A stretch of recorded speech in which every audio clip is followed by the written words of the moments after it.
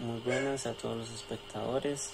En este video hablaremos sobre el fideicomiso de obra pública como tema principal y como subtema hablaremos sobre el fideicomiso de la planta térmica de Garavito.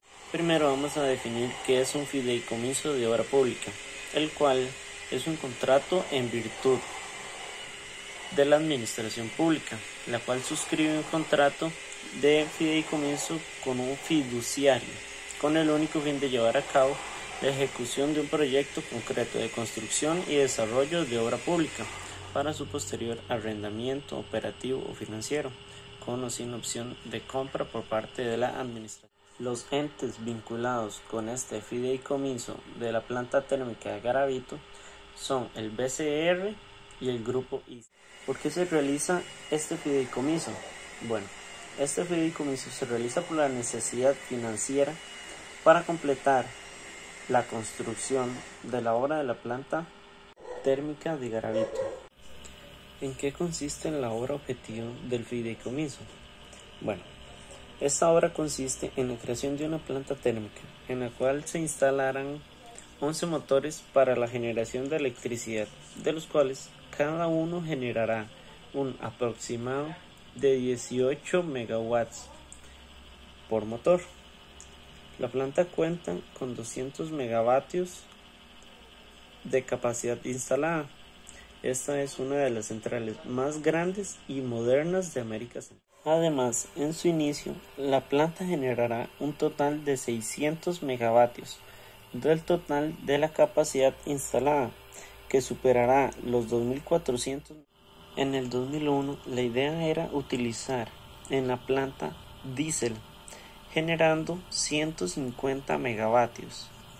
Sin embargo, en 2006 se replanteó esta idea para la implementación de la planta tipo búnker, generando 200 megavatios. A pesar de todas estas características favorables que posee la planta térmica, también se deben marcar que es uno de los medios que más contaminación generaría, ya que este tipo de energía produciría más contaminación que la energía producida por agua, viento o vapor volcánico.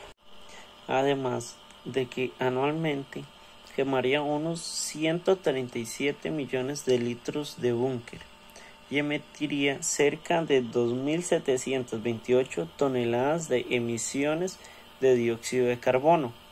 Esto de acuerdo con el uso de la planta, la cual se estima será un aproximado de 38%, lo cual en términos de horas significa que trabajaría unas 3.800 horas. Financiamiento de la obra pública. ¿Cómo se financia el fideicomiso? Bueno, se financia de la siguiente forma. La cuota mensual de arrendamiento se fija en función del costo capitalizado del activo.